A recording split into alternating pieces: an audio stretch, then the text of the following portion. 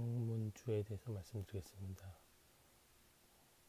문헌에는 시의전서와 오음 제방 두 군데만 표시되어 나와 있습니다. 시의전서 저자미상 1800년대 말이고요. 방문주별방 이렇게 나와 있습니다. 그래서 고문으로 이렇게 표시되어 있고요.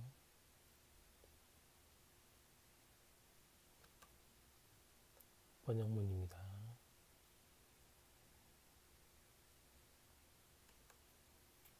조리법입니다. 백미를 깨끗하게 씻어 담근다 해서 8번 술은 처음에는 따뜻하게 하고 술이 고이면 즉시 차갑게 식힌다 이렇게 정리가 되겠습니다. 상하려 짚이 필요합니다. 우음제방 미상이고요. 1800년대 후기 방주 방문 주로 나와 있고요. 본문 원문입니다.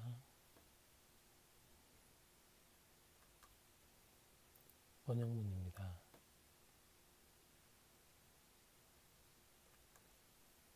조리법입니다. 밑술, 덧술 돼서 밑술 1 백미 세대의 쌀아기를 제거하고 여러 번 깨끗이 씻어 여러 날을 담갔다가 가루를 낸다.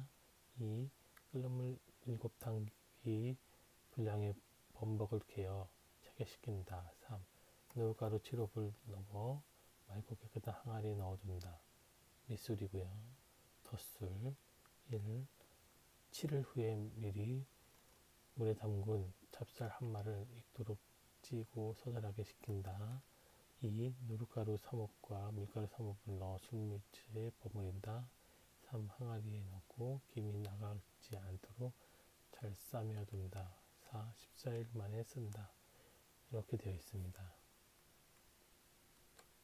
항아리가 필요하겠습니다.